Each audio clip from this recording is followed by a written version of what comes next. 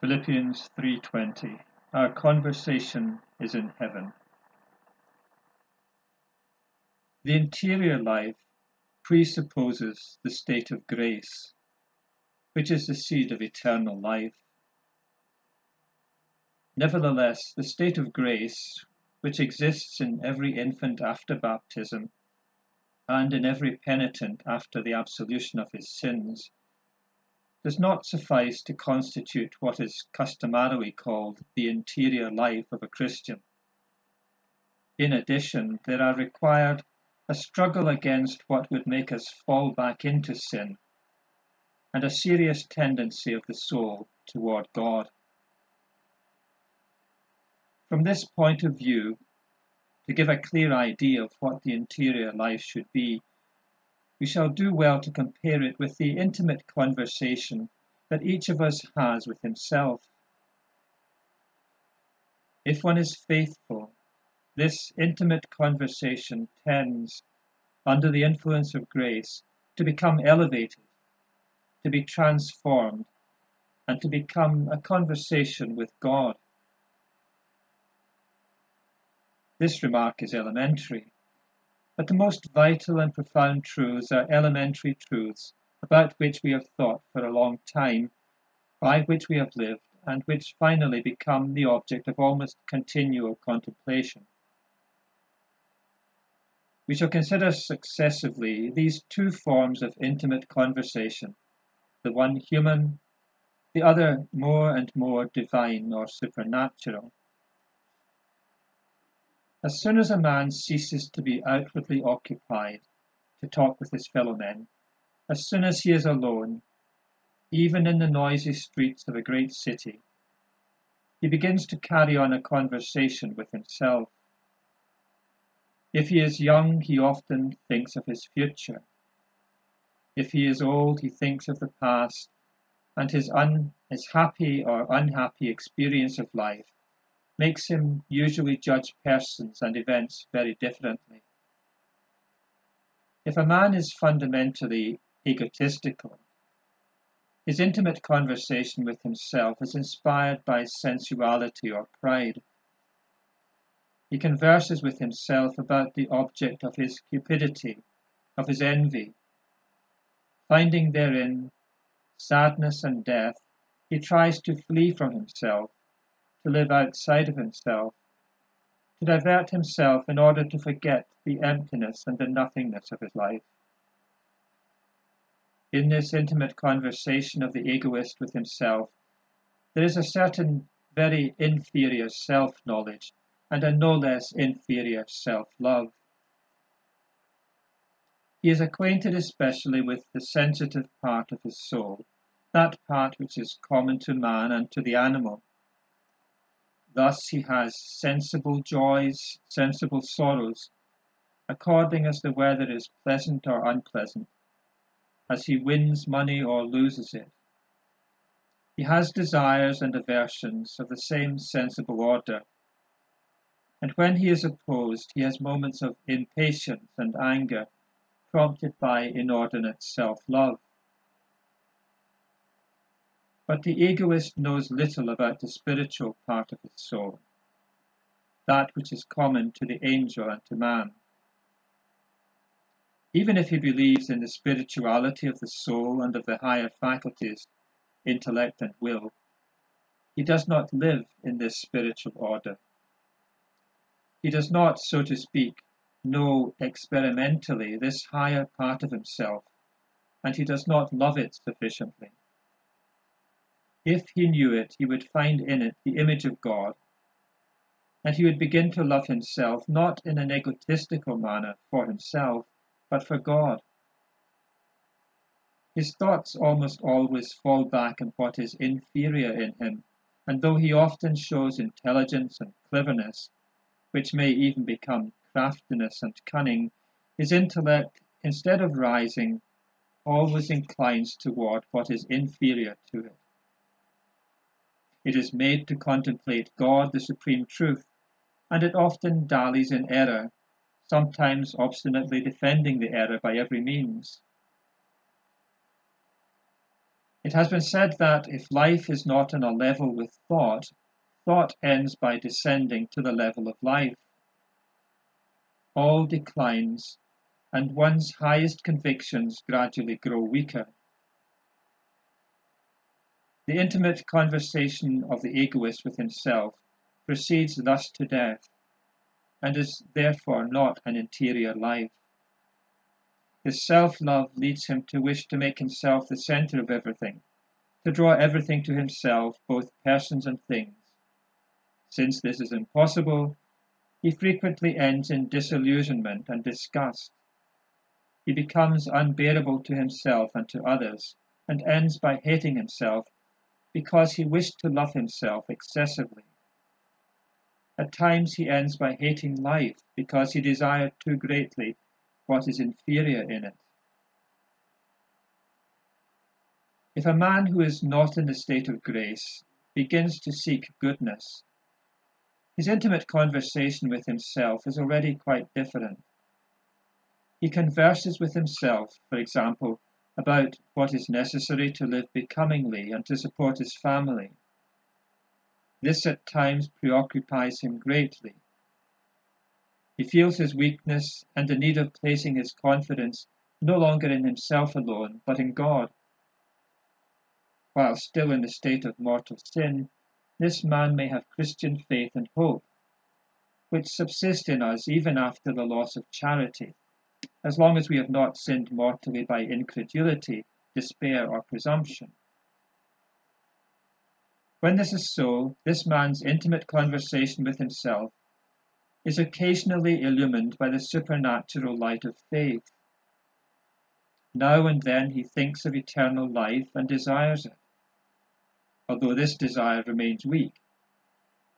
He is sometimes led by a special inspiration to enter a church to pray. Finally, if this man has at least attrition for his sins and receives absolution for them, he recovers a state of grace and charity the love of God and neighbour.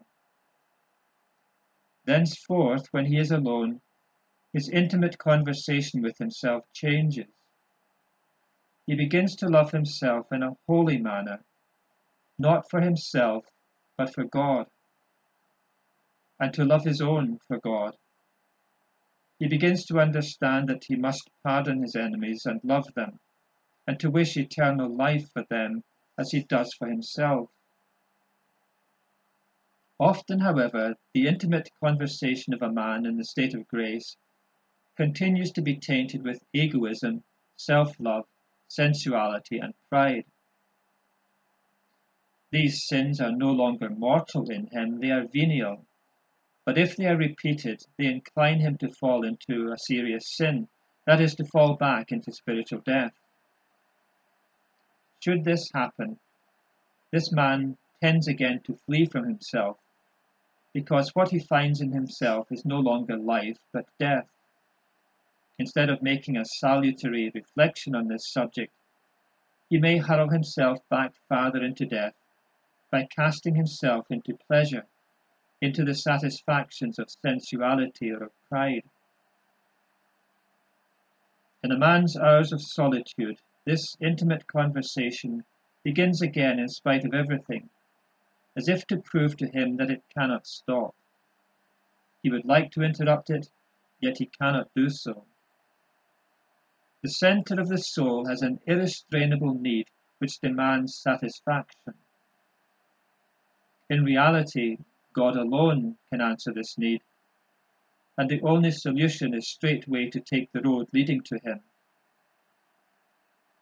The soul must converse with someone other than itself. Why? Because it is not its own last end, because its end is the living God, and it cannot rest entirely except in Him. As St. Augustine puts it, our heart is restless until it repose in Thee. That's from Book 1, Chapter 1 of the Confessions. Our heart is restless until it repose in Thee. This is the proof for the existence of God through natural desire for true and lasting happiness, which can be found only in the sovereign good. known at least imperfectly, and loved above all, and more than ourselves. We develop this proof in La Providence et la Confiance en Dieu, pages 50 to 64. The interior life is precisely an elevation and a transformation of the intimate conversation that everyone has with himself as soon as it tends to become a conversation with God. St. Paul says, For what man knoweth the things of a man, but the spirit of a man that is in him? So the things also that are of God, no man knoweth but the Spirit of God. The Spirit of God progressively manifests to souls of good will what God desires of them and what He wishes to give them. May we receive with docility all that God wishes to give us. Our Lord says to those who seek Him, Thou wouldst not seek me if thou hadst not already found me. This progressive manifestation of God to the soul that seeks Him is not unaccompanied by a struggle.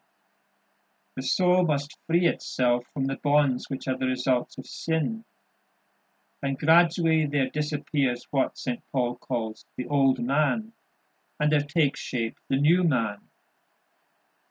He writes to the Romans, I find then a law that when I have a will to do good, evil is present with me. For I am delighted with the law of God according to the inward man, but I see another law in my members, fighting against the law of my mind. What St. Paul calls the inward man is what is primary and most elevated in us, reason illumined by faith and the will, which should dominate the sensibility common to man and animals. St. Paul also says, For which cause we faint not, but though our outward man is corrupted, Yet the inward man is renewed day by day. His spiritual youth is continually renewed like that of the eagle by the graces which he receives daily. This is so true that the priest who ascends the altar can always say, though he be ninety years old, I will go into the altar of God, to God who giveth joy to my youth. St. Paul insists on this thought in his epistle to the Colossians. Lie not one to another, stripping yourselves of the old man with his deeds, and putting on the new, him who is renewed unto knowledge, according to the image of him that created him, where there is neither Gentile nor Jew, nor barbarian nor Scythian, bond nor free, but Christ is all and in all. The inward man is renewed unceasingly in the image of God, who does not grow old. The life of God is above the past, the present, and the future. It is measured by the single instant of immobile eternity. Likewise, the risen Christ dies no more and possesses eternal youth. Now he vivifies us by ever new graces that he may render us like himself.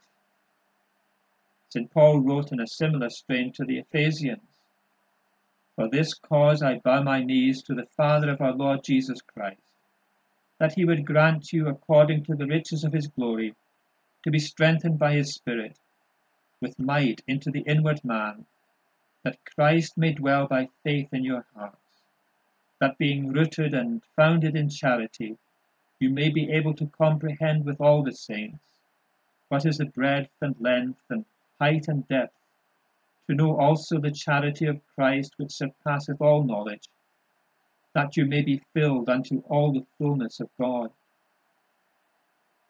St. Paul clearly depicts in these lines the interior life in its depth, that life which tends constantly toward the contemplation of the mystery of God and lives by it in an increasingly closer union with him. He wrote this letter not for some privileged souls alone, but to all the Christians of Ephesus as well as those of Corinth.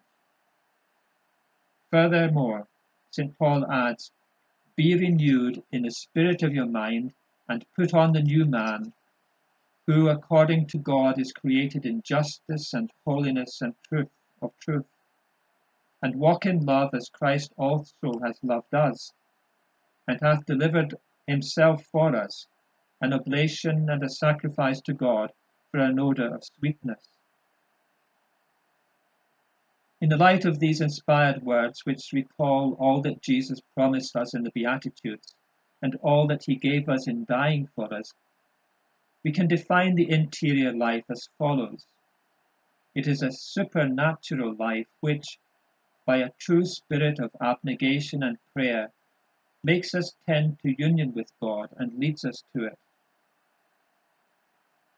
It implies one phase in which purification dominates another of progressive illumination in view of union with God, as all tradition teaches, thus making a distinction between the purgative way of beginners, the illuminative way of proficients, and the unitive way of the perfect. The interior life thus becomes more and more a conversation with God, in which man gradually frees himself from egoism, self love, sensuality, and pride and in which by frequent prayer he asks the Lord for the ever new graces that he needs. As a result, man begins to know experimentally no longer only the inferior part of his being, but also the highest part. Above all, he begins to know God in a vital manner. He begins to have experience of the things of God. Little by little, the thought of his own ego toward which he made everything converge, gives place to the habitual thought of God, and egotistical love of self and of what is less good in him also gives place progressively to the love of God and of souls in God. His interior conversation changes so much that St. Paul can say, Our conversation is in heaven. St. Thomas often insisted on this point. Therefore, the interior life is in a soul that is in a state of grace, especially a life of humility, abnegation, faith, hope, and charity. With the peace given by the progressive subordination of our feelings and wishes to the love of God, who will be the object of our beatitude. Hence, to have an interior life an exceedingly active exterior apostolate does not suffice, nor does great theological knowledge, nor is the latter necessary. A generous beginner who already has a genuine spirit of abnegation and prayer already possesses a true interior life which ought to continue developing. In this interior conversation with God, which tends to become continual the soul speaks by prayer, oratio, which is speech in its most excellent form. Such speech would exist if God had created only a single soul or one angel. For this creature, endowed with intellect and love, would speak with its Creator. Prayer takes the form now of petition, now of adoration and thanksgiving. It is always an elevation of the soul toward God. And God answers by recalling to our minds what has been said to us in the Gospel and what is useful for the sanctification of the present moment.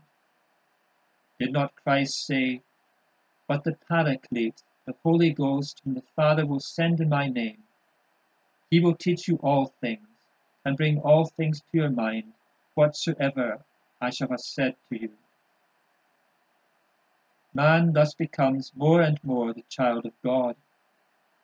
He recognizes more profoundly that God is his Father, and he even becomes more and more a little child in his relations with God.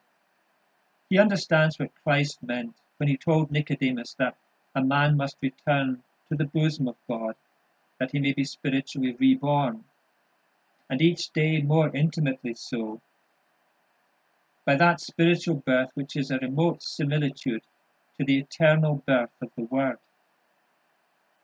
The saints truly follow this way, and then between their souls and God is established that conversation which does not, so to speak, cease. Thus it was said that Saint Dominic knew how to speak only of God or with God.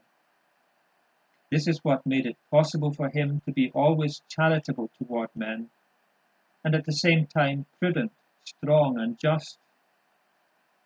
This conversation with God is established through the influence of Christ our mediator, as the liturgy often says, particularly in the hymn Jesu Dulcis Memoria, which is a splendid expression of the Christian's interior life.